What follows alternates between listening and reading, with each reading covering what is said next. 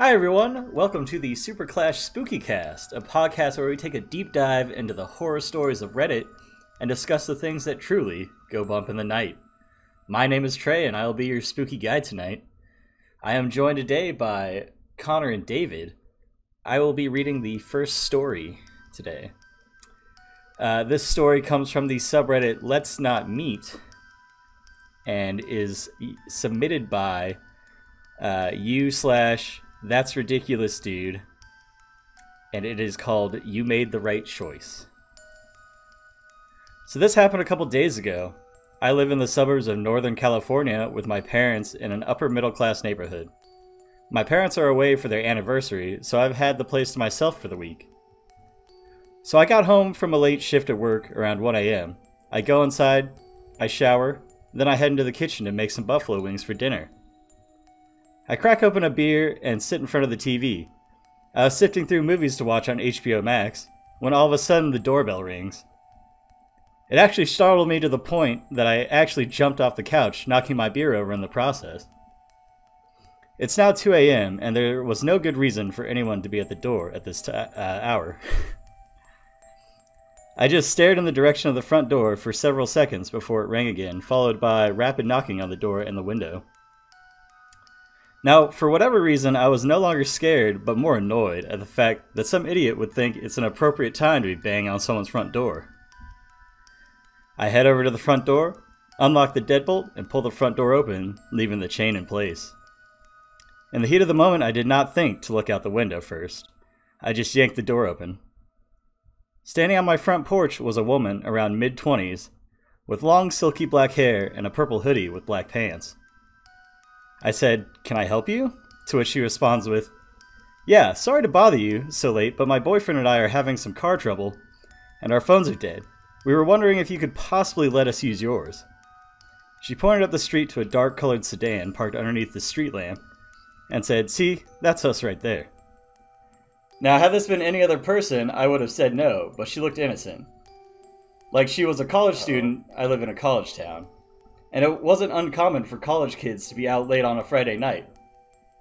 I asked her where her boyfriend was, and she said he'd walked to the gas station to see if anyone had a phone there. I pulled my iPhone out and told her to make it quick as I was about to go to bed. She thanked me and said she'd only take two seconds. After a couple rings, whoever she called picked up and she said, Yeah, it's me. I'm borrowing someone's phone. She stopped talking, and I could barely make out a man's voice on the other end. Now at this point I started to feel uneasy. She was taking a lot longer to be done with the phone call, and I had started to get impatient. The whole time she just stood there staring at me, with a wide eyed expression and a creepy smile that looked forced, while this person on the other end kept talking. She finally said, Okay, bye, and handed me my phone back. She then said, Do you think I might be able to come inside to use your bathroom? I said no and wished her good luck before shutting the front door. There's the bush. Right as I was about to walk away, I heard her laugh and say, You made the right choice. I looked out the peephole and she was still standing on my porch, but now she had a man standing next to her. He looked to be around her age and was wearing a hoodie and a face mask. The pair then started to circle around my house, banging on windows and laughing. I didn't hesitate to call 911 at this point. They stuck around for several minutes trying to get in through my back door. I had my Glock 19 in hand, aimed at the back door with 911 on speaker, and was prepared to do whatever I had to do if they got in. They banged on my back door for around five minutes before they finally left. I watched them run up the street to the same black sedan I'd mentioned earlier and take off up the street. The cops showed up a few minutes later and took a report. They told me that I was the third person to call them that night, reporting a suspicious couple to enter homes. I don't know what they had planned, but I'm inclined to believe it was never, uh, never anything nice. Moral of this story is never answer the front door at 2 a.m., especially without looking to see who it is first. I learned my lesson that night. Jeez, dude. I would I would never ever answer the door in late at night. Right. That's that's yeah. what I'm saying, man. Like I don't Two care things. who it is. Check check out the window, turn all your lights off and check out the window and don't open the damn door. Right. I'll, I'll like cop for you from inside. Here. Need some help? Yeah. I'm not. Yeah. Right. Like I'll yeah. I'll call AAA with like whatever I gotta do. You, you know, but honestly, like I'm not answering the door. Like if it's 2 a.m., sorry, it's not happening. Like, like if your mysterious visitor says you made the right choice, you're part of a game you don't even know about. But but not only that, but the fact that like you know, they're like, "Oh, you know, she's in her mid 20s, she looks innocent." Like, no, no, no. People these days are super sketchy. Like, I, I don't care who you are, most people in my opinion uh are evil as fuck. You know, like they have bad intentions. Oh yeah. and uh, you know you you'd think with with COVID and stuff, people would be you know less uh, less willing to interact with with sketchiness, right? But I guess not in this uh, this uh, nope. this instance. Some people are just that daring. I'm just like I I wouldn't answer the door. Like I might be like, "Who's there?" And if they gave me that spiel, I'd be like, "Sorry, I can't help you." Like this is not happening. I, I'm I'm glad that this person had the sense to to not let them in the house.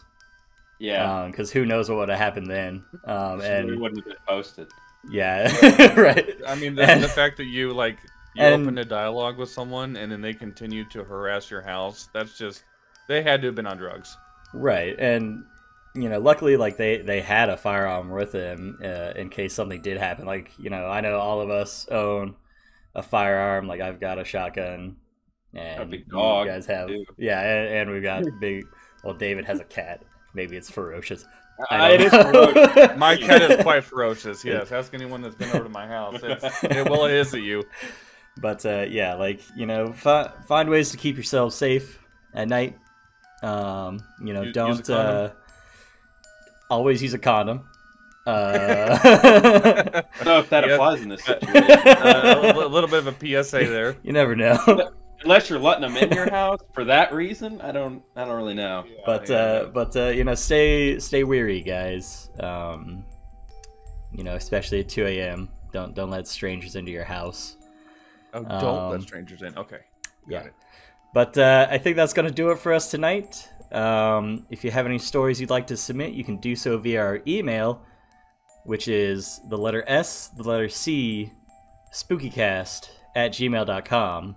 Uh, we will leave that in the description below. Uh, we hope you have a safe and spooky night, and we will catch you guys on the next one.